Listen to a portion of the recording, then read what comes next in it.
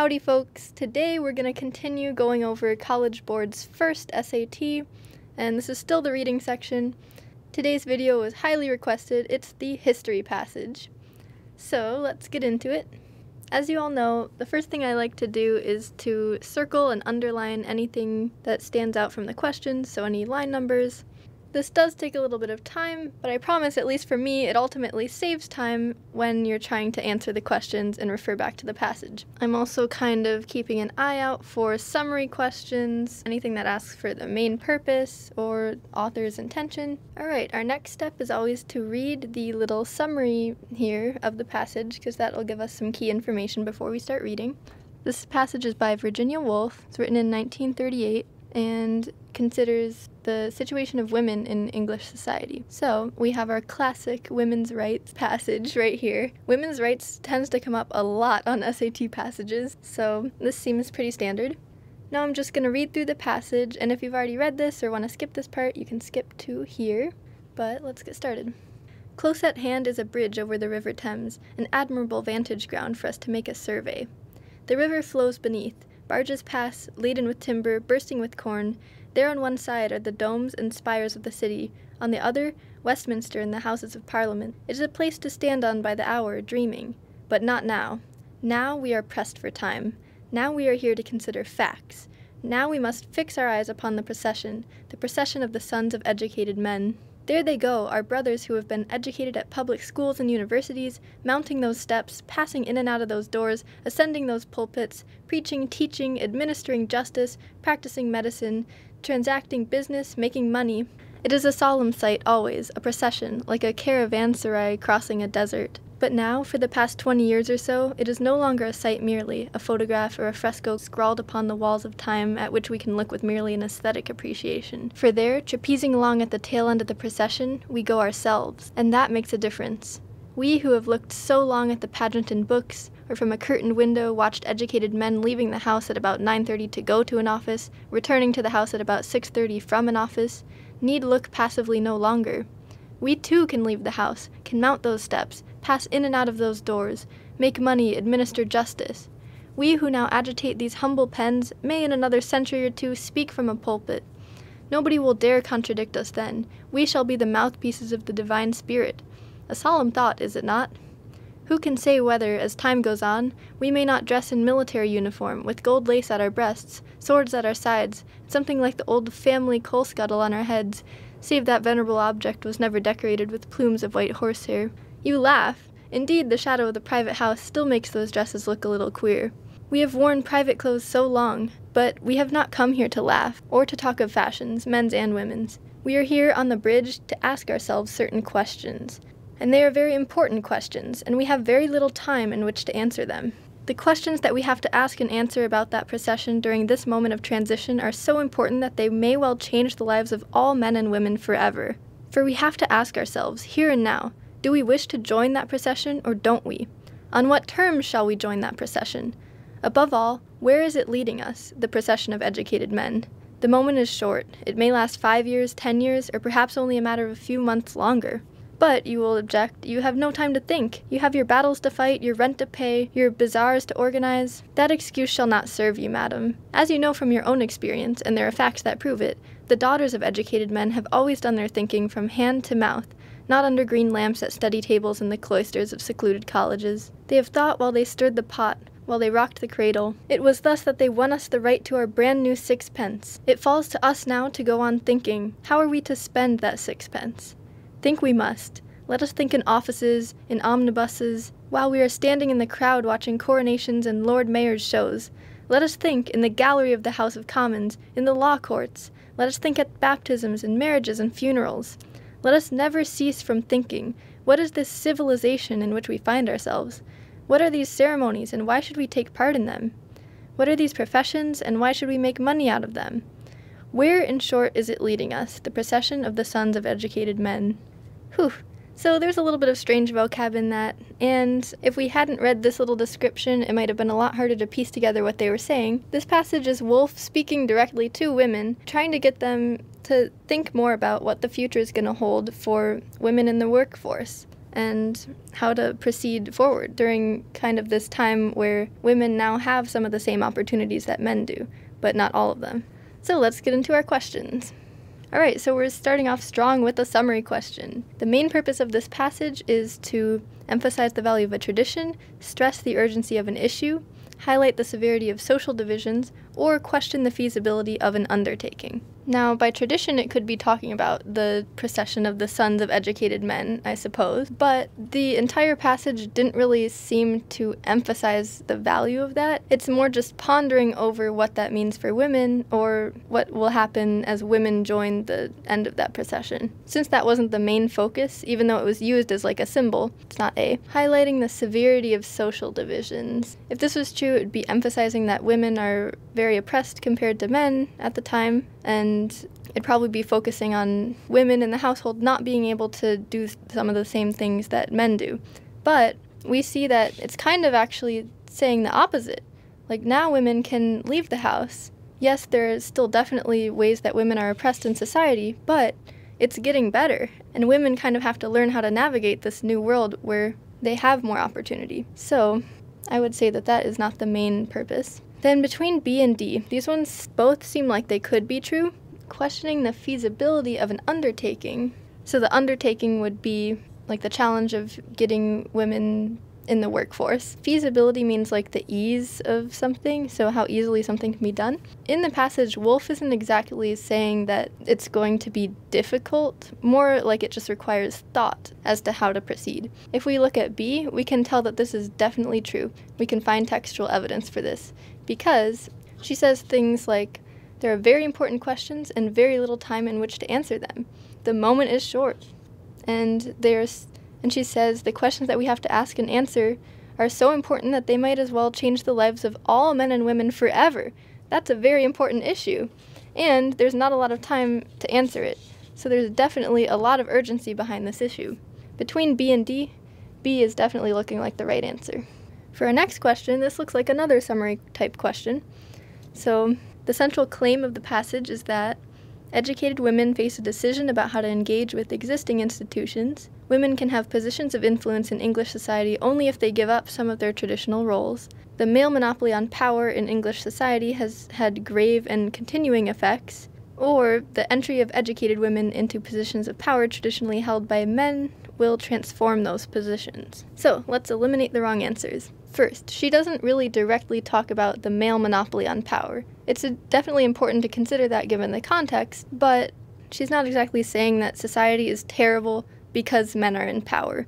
That might be a little too strong of a stance to give to her. Plus, these this word like grave that has some strong connotation. She does mention the word solemn, but I think that's more in reference to the workforce just being generally miserable, not exactly because of male power.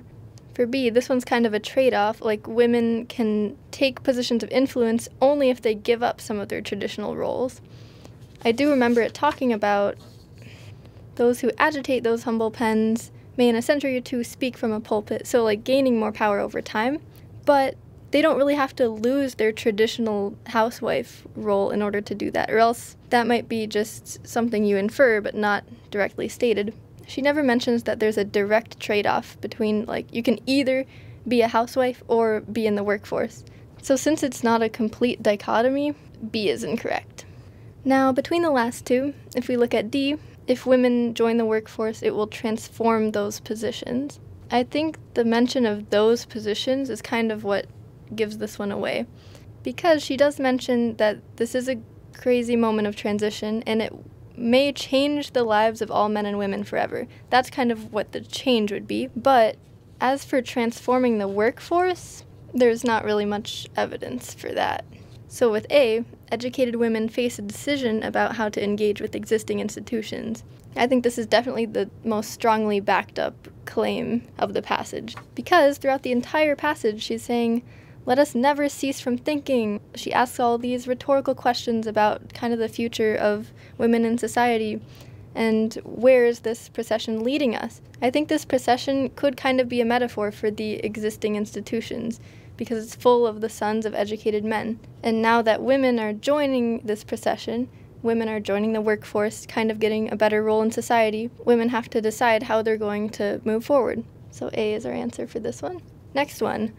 Woolf uses the word we throughout the passage mainly to reflect the growing friendliness among a group of people, advance the need for candor among groups of people, establish a sense of solidarity among a group of people, or reinforce the need for respect among a group of people. So all of these have the same base here. So she's trying to do something among a group of people, but let's look at our changing verbs and nouns for each one of these. I also find that with author intent questions, this one's kind of like why is Woolf using the word we? It helps to really keep in mind the main focus of the passage because we don't know what's going on in Woolf's head when she's writing this. These questions are always going to be based on what's going on in the passage, so you will be able to back it up with textual evidence. You don't just have to make a guess about what she's saying. So, out of all four of these, the one that makes the most sense given the passage is establishing a sense of solidarity among a group of people, which would be women. So, we said before she was kind of addressing women as a whole. She's kind of doing that by using the we, because she's also a woman. She's trying to bring all women together to think about these issues that she's worried about. The other three, we can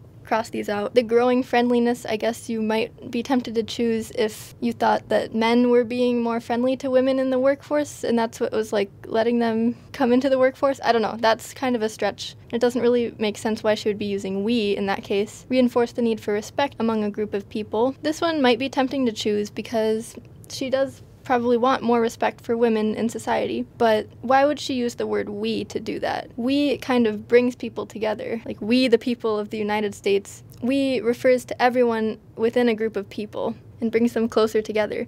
So, we doesn't really accomplish gaining respect for a group of people. And then advancing the need for candor among a group of people. Candor is like truthfulness. Yay, divergent. So advancing the need for truthfulness among among who? It's good to ask who is she advancing the need of candor for? Like among women as a group or among the group of women and men in the workforce? Like I don't know what that would be referring to. We can clearly name the group of people that she's trying to establish solidarity within. And it makes sense given the context of these we's. Like, we are pressed for time, women are pressed for time dealing with these issues. Okay, according to the passage, Woolf chooses the setting of the bridge because it is conducive to a mood of fanciful reflection. It provides a good view of the procession of the sons of educated men. It is within the sight of historic episodes to which she alludes, or it is a symbol of the legacy of the past and present sons of educated men. Don't get too bogged down by the language here. It says according to the passage, so we better be able to find an exact phrase that points to one of these answers. This one's sadly not a daily double, so we can't use our little trick, but we can still search for that evidence to back up whichever answer choice we choose. I think we should focus on the first paragraph because that's where she mentions the bridge mostly. So here she says, Close at hand is the bridge, an admirable vantage ground for us to make a survey. We are here to consider facts. We must fix our eyes upon the procession, the procession of the sons of educated men. That to me sounds like the bridge is just a good place to watch this procession go by. It provides a good vantage point, and we can cross off all the other answers by looking at the parts of the text that might confirm them, kind of debunking it. So, the bridge being good for fanciful reflection, we see she does mention it is a good place to stand on by the hour dreaming, but not now. So, that's not what they're doing on the bridge right now. They're not just daydreaming, they're trying to consider the facts. They're pressed for time, they're trying to find solutions to this issue. So, that one is out. Now, there might be symbolism here, but you would really have to infer any symbolism. She doesn't directly say this bridge is a legacy of the past and present sons of educated men. It represents the future and the past. She doesn't do anything like that, really. That one's out. Is it within sight of historic episodes to which she alludes? I guess maybe. I mean, there are places like the Houses of Parliament on one side, and there's like the city on the other side of the river. But that's not the main reason why she chose the bridge. I think she's just saying that to add character, to add a little bit of visual description. The main point is that they're they're watching this procession, not that they're considering the historical precedence of the bridge or the stuff near the bridge. So B definitely makes the most sense if we refer to that first paragraph. Okay, finally we have our daily double. Yay. This is why I like to highlight these lines ahead of time. So if you don't know, these are our two-part questions, and I like to answer them in kind of a weird way, but it makes it much easier in my opinion. The first thing we're going to do is read question 36. without the answer choices. Woolf indicates that the procession she describes in the passage and in some cases, the question will be phrased really vaguely like that, where the bulk of it is actually in the answer choices. In that case, I think it's just best to read the answer choices along with it so you have some idea of what you're looking for, but then still read these quotes before you answer this question. So let's read those because we don't know what she's referring to about the procession unless we read these answer choices. The procession she describes in the passage has come to have more practical influence in recent years has become a celebrated feature of English public life, includes all the richest and most powerful men in England, or has become less exclusionary in its membership in recent years. So we're about to read these quotes, and when we do, we're looking for something that verifies any of these four.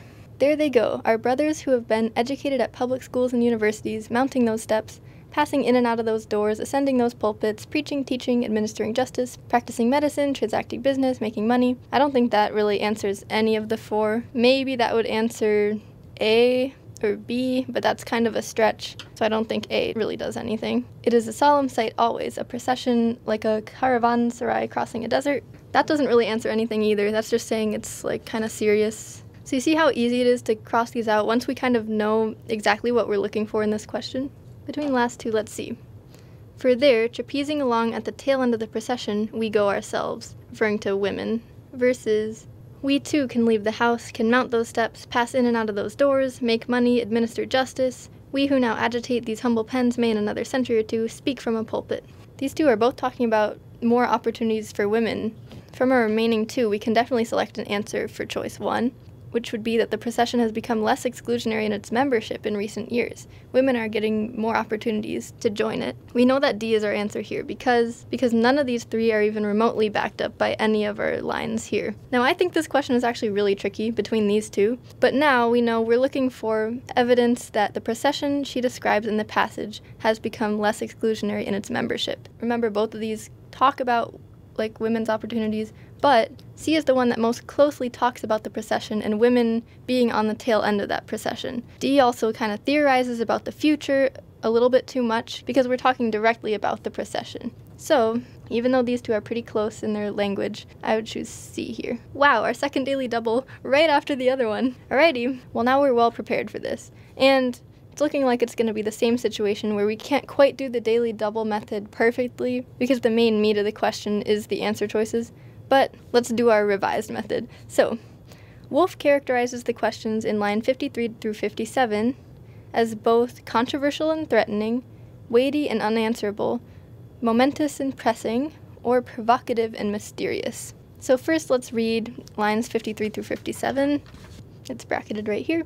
For we have to ask ourselves, here and now, do we wish to join that procession or don't we? On what terms shall we join that procession? Above all, where is it leading us, the procession of educated men? She repeats that a lot. Um, so those are the questions that she's referring to. Now let's look at our answer choices. So we have these adjectives kind of in our brains, but we're not going to try to pick one out just yet. So these starred ones are the corresponding quotes. We have worn private clothes so long, but we haven't come here to laugh or to talk of fashions, men's and women's. We are here on the bridge to ask ourselves certain questions. Now, does that really answer what the nature of the questions is? That more is just saying why the women are there. So I would say A is out. Here we go. And they are very important questions, and we have very little time in which to answer them.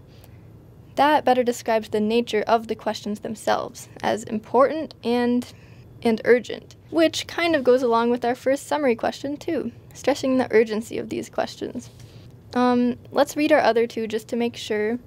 We have the moment is short, which doesn't give a ton of context about the questions themselves, or that excuse shall not serve you, madam, which also doesn't answer the nature of the questions. So this one's pretty clear that B is our correct answer for the second part.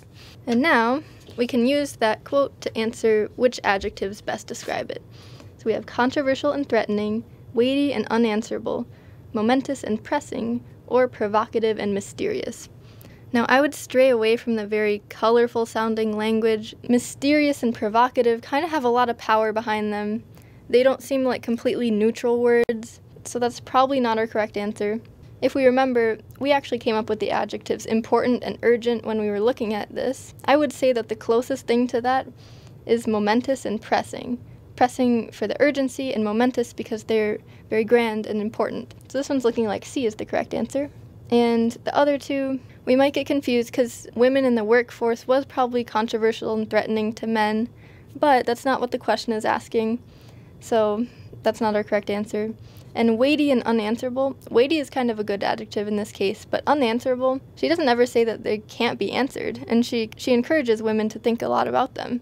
So that would suggest that there probably is a right answer. Home stretch here. Which choice most closely captures the meaning of the figurative sixpence referred to in lines 70 and 71? So let's go back to that. Oh, I actually didn't underline that, but whatever. It was thus that they, meaning like past women, won us the right to our brand new sixpence.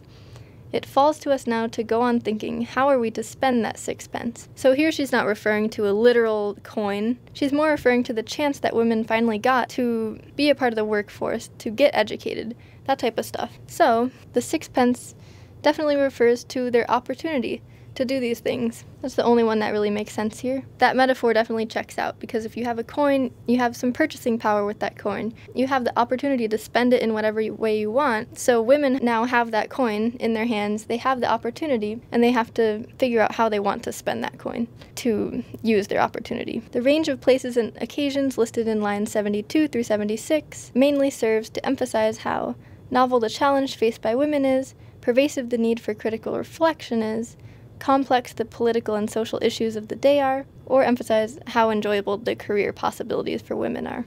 Let's turn back to this. Here's my terrible bracket around this one. Let us think in offices, in omnibuses, while we are standing in the crowd watching coronations, blah blah. Let us think in the House of Commons, law courts, baptisms, marriages, funerals. That's a lot of places listed there. And Woolf is urging the women to think in all of them. I think the phrase let us think helps us the most here because um, she's not talking about potential career possibilities for women in these fields. She's saying that yes, you may call yourself busy, but you still have time to think throughout your day, even when you're doing other things. So D is out. C is also out because yes, there are complex political and social issues, but her mentioning those places doesn't really have any correlation with that. Like if we read the lines before, these historical women have thought while they stirred the pot and while they rocked the cradle. So even though they didn't get the same education and they didn't have a formal space to do their thinking, they still managed to do it, and that's what gained women the opportunities they have today. So hopefully the answer is kind of sticking out at you by now. The range of places and occasions listed, it serves to emphasize how pervasive the need for critical reflection is. Critical reflection is just another word for thinking, which matches with what that whole section is about. And the pervasiveness of it is how it's important to do it in every aspect of your life. At funerals, at weddings, while you're watching coronations, all that stuff. You can still be thinking about your role in society as you go about your daily activities. So B is our correct answer. A actually doesn't work at all either because this isn't a new challenge for women. These pioneering women also faced the same issue where they had to do their thinking in, in creative spaces. So it's not really a new challenge faced by women. They've been finding creative ways to educate themselves for thousands of years or whatever. So A is out. So that is the end of this section. Sorry for the beams of sunlight coming in here. Hope you all enjoyed this. Hope it made sense. I know the history passage is everyone's least favorite, but hopefully this made it a little bit easier. And next time we'll be focusing on the classic debate passages. And this one's actually another science passage too. Tune in next time for that. Please like and subscribe if you enjoyed this. Comment down below with any tips for people or if you have any additional questions. And bye!